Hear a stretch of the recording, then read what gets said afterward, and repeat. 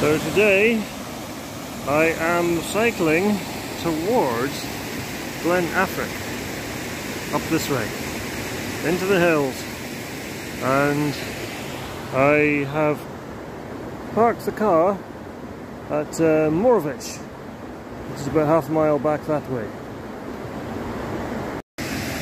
So here we go.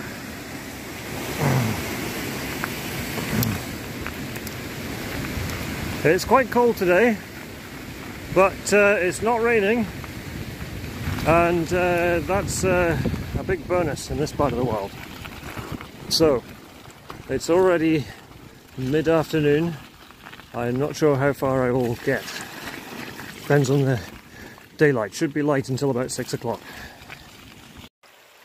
So this is uh, the Affric to Kintail Way, and uh, there's an ash tree growing at the side of the river here. A lot of Scotland doesn't have many trees. And uh, I am taking the taking a cycle, taking a bike ride, um, and I haven't made a video for a while. I haven't made many videos for a number of years. Um, I made loads back in about 2011, 2012 um, really up to the point where I became a, a dad and then life got even busier than it was before. But at this point in time, uh, I am feeling an enormous sense of freedom. And that's the positive, that's the glass half full side of things. Um, I'm in the process of separating from a very restrictive and controlling relationship. And uh, but at the same time, I have very restricted, limited access to my children. I will see them tomorrow, briefly. Um, so that is kind of laying heavy on my heart. But one of the things about uh, freedom is just don't need to ask anybody if you want to go somewhere. So you can take off with a bike and head up into the hills, which is what I'm doing now. And it's fantastic, it's beautiful here. A little bit of sunshine on the snow up there. Um, so, onwards and upwards. Yeah, one of the great things about escaping from a very controlling relationship is, like I said, the sense of freedom and uh, not being answerable. You don't have to get somebody's permission. And one of the restrictions I've had over many years is about talking at all about where I am, where I live, what my real name is, anything about the children, all of these things are completely taboo, like forbidden. For, I have been forbidden from mentioning these things at all, but now uh, I'm no longer under control, so I uh, live not so far from here, um, and uh, up in that direction is uh, Morvich and Kintail and the Isle of Skye. And uh, yeah today I'm not it's just like an experimental run because I don't have so many hours of daylight but I'm heading in this direction which ultimately leads to Glen Affric which is a beautiful place. I haven't been there for years but really really nice with ancient pine forest. And uh, uh, if you keep going it takes you all the way to Drumnadrochit on the side of Loch Ness I think it's 44 miles from Drumnadrochit to uh, Morvich, where I started. And there are a couple of bothies along the way. I'm not sure if today I will get as far as the first both, bothy, but uh, I am going to keep going. There are a few trees on uh, very steep bits of ground that the deer and the sheep can't get to. Even even pine trees, by the looks of it up there and uh, yeah, this is this is the way we're going. So um, keep keep keep going. Um, my son is eight years old, um, and he would love to be here with me now. Um, I've talked before, he's very much into his mountain biking, and he has got me back into mountain, excuse me, back into mountain biking after uh, more than 20 years of hardly going on a bike at all. When I was a teenager, back in the 90s, um, and mountain biking was quite a new thing. It kind of evolved from BMXs in this country. I never had a BMX, but I had a mountain bike. Um, I had a couple over the years. Um, and uh, that was great fun. And now I've really got back into into that at uh, nearly 50 years old. And uh, but because of the restrictions that my wife, um, soon to be ex wife, has put on me, bringing him along today is unfortunately not possible. But uh, all of that is a very long, complicated story. And in, in a way, I am sort of just scoping this out for how rideable it is, um, with a view maybe later in the year that uh, he can come with me up here. And I have other friends, one in particular who, um, like my best friend, who I've known for 40 years, and uh, he lives in New Zealand these days.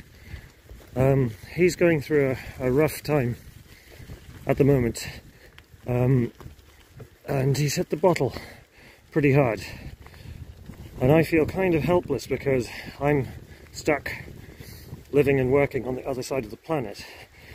Um, but I speak to him reasonably often, and uh, he's also um, quite into his biking these days. And I wish he could be here too. So this is a little bit tricky with one hand holding the camera. Um, one day I may get a, a GoPro or some such thing um, instead of holding my phone. But it's really beautiful here today. And uh, I wish my children and my friends could be here as well. Um, one of the things about living in a remote part of the West Highlands of Scotland, you know, beautiful as, as it is, um, so many of my friends and family are literally hundreds or thousands of miles away. So, yeah, just taking all this in. I can see the first bothy up ahead. It's closer than I thought and, and also less steep than I thought it was going to be. So um, that's that's quite achievable in uh, in an hour or two. So yeah, onward and upward. I've just come up the steepest bit so far and I'm a little bit out of puff but I would imagine that compared to what's further up um, this will be this will be quite tame. Um, don't know if you can see the orange roof of the bothy up ahead. Shouldn't take too long to to get there now. So we're almost at the bothy now and it has taken uh, barely an hour and 20 minutes and I've not been rushing. So it would be relatively easy to get up here from the car in about an hour which is a lot uh, uh, quicker than I was anticipating but I can see, you can see the bridge crosses over the river there and then it looks like quite a steep windy rough path going up to that pass up there. I'm going to start to go up there um, and see what it's like. Um, but with daylight and all that, um, I'm not going to go too far. If I get up to that high bit, that would be good. We'll see. So we've reached the bothy here and uh, it's locked and uh, that's unusual for bothies I've I've been to in the past but not, not for many years um, but there's a key and a combination lockbox thing so presumably you need some sort of permission to stay here water supply there and uh, an old ruin down there in need of a little bit of restoration and uh, I'm going to continue on in this direction. We've reached the first bridge. Uh, there is another one because this uh, river sort of takes a fork so we go over the, another bit behind there another, another bridge. This bit is a little bit tricky for cycling um, so there's a, a lot of getting on and off. So, but I do want to get a bit further and uh, yeah, see what the views are like. Also up here there's an area I wasn't aware of um, that has been fenced off and it's allowing the natural woodland to regrow. So I always like seeing things like that.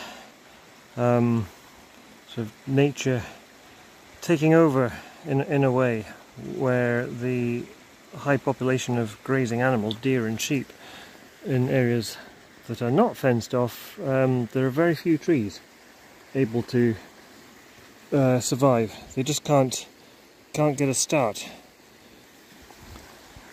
So let's keep going.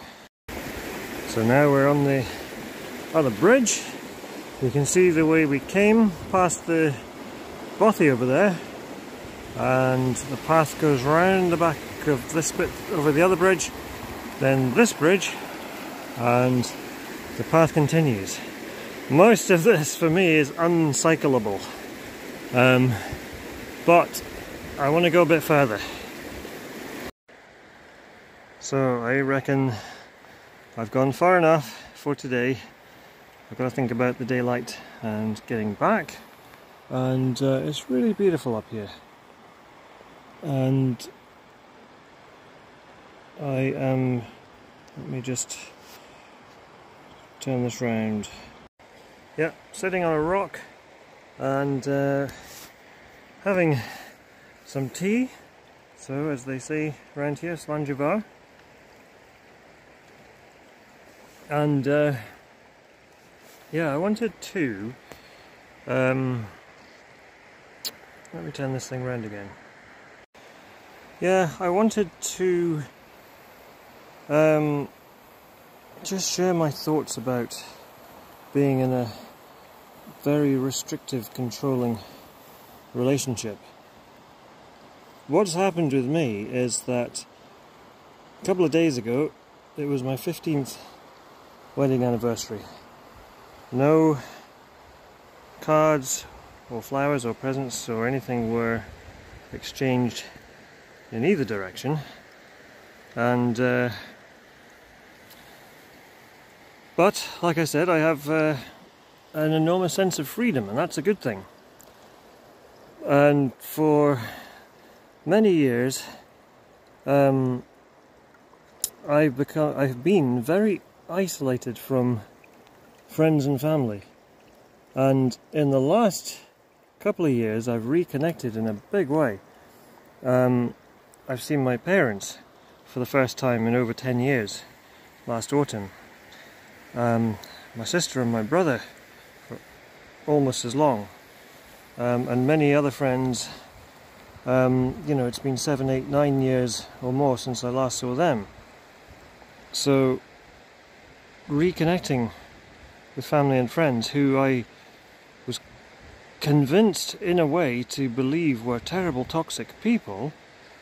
Um, you know I've come to realize well I kind of knew all along that that wasn't true. So here's to here's to the future. And uh, coming back here with uh, with friends and family the children would absolutely love it here. I miss them so much. Um, at the moment, I, I haven't been able to live at the family house. Uh, really, since since Christmas, things got really bad, um, and I'm staying in temporary accommodation at the moment. But uh, once I've got uh, myself back on my feet, accommodation-wise, um, yeah, things will be things will become easier. I'm pretty pretty sure about that.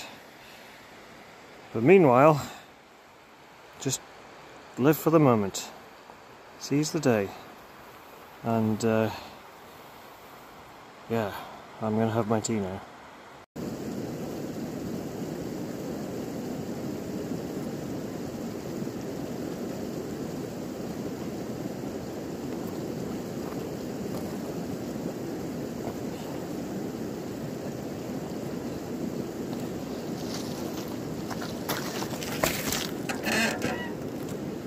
In the last few years, um, friends and family have helped me massively to uh, recognize how strange the situation I've been in has been, and I'm very grateful to them for helping me out practically and emotionally. And uh, if they ever see this, then yeah, thank you so so much. Anyway, I uh, unfortunately my phone is very low on memory, so I will say um, see you in the next one.